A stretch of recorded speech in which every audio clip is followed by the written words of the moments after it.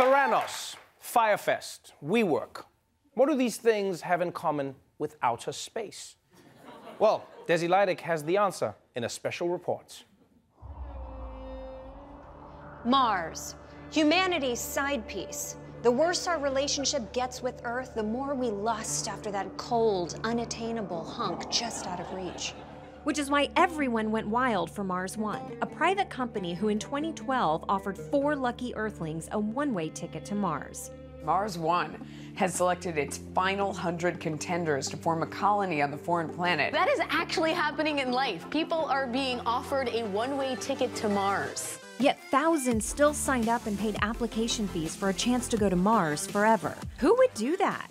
My name is Layla Zucker, and I'm an emergency medicine physician. What would make someone want to take a one way trip to Mars? You know, aside from just being a woman on this planet right now. It's been almost 50 years since we went onto the moon. It's time to go. So you're telling me you would choose space over your husband? I would. My husband is okay with that because if you love something, you have to let it go. Are you sure you don't just need a little bit of space? Like I tell my husband that I've got book club once a week. There's no book club. I barely read. It's not really about that. We need to make humans a multi planet species. Unfortunately for Layla and 99 other finalists, there's only one problem. Mars One is now filing for bankruptcy. Was Mars One ever a real thing at all? The more that I looked at it, I kind of felt like mm, this is like not a real thing at all. They didn't have any kind of real money. They weren't working with SpaceX. Their idea was they make reality TV shows, but where do you get the money before that to pay for the scientists, the gear, everything else that goes into actually getting you there? You know what they should have done? They should have done a pyramid scheme. I had a very successful pyramid scheme going in college. It was basically like Herbalife, but with 100% cocaine. Uh-huh. I would sell it, then I had other people selling it. I would take a cut of it. It's pretty great. That sounds like you were just selling drugs. What are you, a cop? Like I told those prosecutors, I'm gonna need a second opinion. So I turned to real life astronaut Chris Hadfield. Mars One had no spaceships. They gave everybody the impression that you could just go buy um, a spaceship that could take you to Mars. But those spaceships don't even exist. They still have to be invented. Mars One was a scam. They bilked people out of a million dollars, and when they just went broke recently, they still owe somebody else another million euros. You don't, you don't mean a scam scam. You just mean they told the world that they had a thing, but they didn't actually have the thing, and they couldn't deliver on the thing. That's what scams are. What kind of magician can pull off an illusion this big? I had to find the man behind it all Mars One CEO Bas Lansdorp. I didn't want him to be suspicious, so I started off slow. Is Mars One a scam? Uh, Mars One is definitely not a scam, and I think that if you take a real good look at their website, you cannot be convinced otherwise. As everyone knows, the best way to check to see if something is a scam is to see if it has a website. And like any legitimate space venture, Mars One offers sweet merch and a chance to donate monthly. Don't forget that in 61, when Kennedy said we're going to the moon before the end of the decade, mm-hmm. they basically had nothing.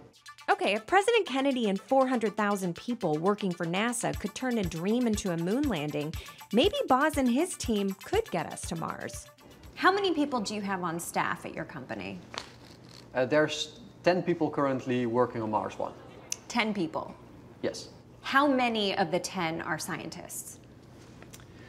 So uh, there's uh, three engineers currently involved in Mars One, and the others are more on the storytelling part of the company. Seven of the 10 are more involved in the storytelling process? Yes. So if I invest in Mars One, am I investing in a space program or a media story? Investors are really investing in a, in a media company that's selling the story. So, all this time, Mars One was nothing more than a sales pitch sold to us as news? How could the entire world be fooled by this one Dutchman? The media. Sorry, um, you said the, the media? Yeah. MIT was putting out papers about how Mars One's plans were going to actually kill the people within 68 days of arriving because they would suffocate to death. But then you would turn on the news, you would see this kind of like softball coverage. What items would be on your bucket list? What, what do you need to check off before you go to Mars? These people are really going, everybody. There are two things she will really miss about Earth her husband of 22 years and her favorite food, hamburgers. The media perpetuated and, and magnified the lie. Ugh, yeah, media's the worst. The first step in becoming a truth telling journalist? Informing Layla that she's been scammed. That doesn't make it a scam. In order to have a scam, you have to be fooling someone and you have to be stealing from them. And nobody has really paid anything other than the original um, application fee. So if, if you're not stealing and you're just fooling somebody, it's innocent. It's an innocent lie that makes life on Earth more magical. Like Santa Claus or Basically- the Easter Bunny. Basically, yes. Or like when you tell your husband you only slept with his father once. You know, little lies that make people happier. We say it's only going to take 10 years and it's only going to take $6 million. And we know those aren't true. But in order to pursue these dreams, sometimes we take small liberties. Everybody is allowed to dream, but the media's job is not to report dreams, it is to report the facts. Exactly. A journalist's job is to seek the truth and to stay sharp. And the best way to stay sharp is with Herbicane, the only herbal supplement made of 100% cocaine. Herbicane. Mmm, that feels good. Mars One had a story to sell. And like the customers of my herbal supplement, most of the media bought it without examining the product.